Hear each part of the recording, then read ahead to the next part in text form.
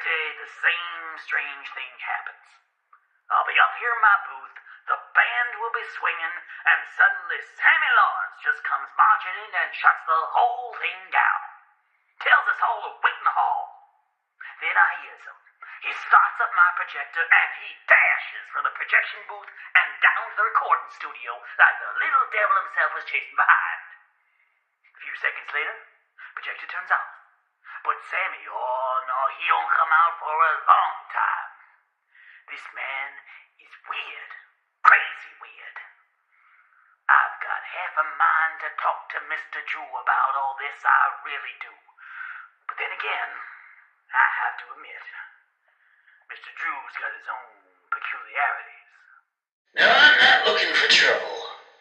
It's just the nature of us projectionists to seek out the dark places. Studio.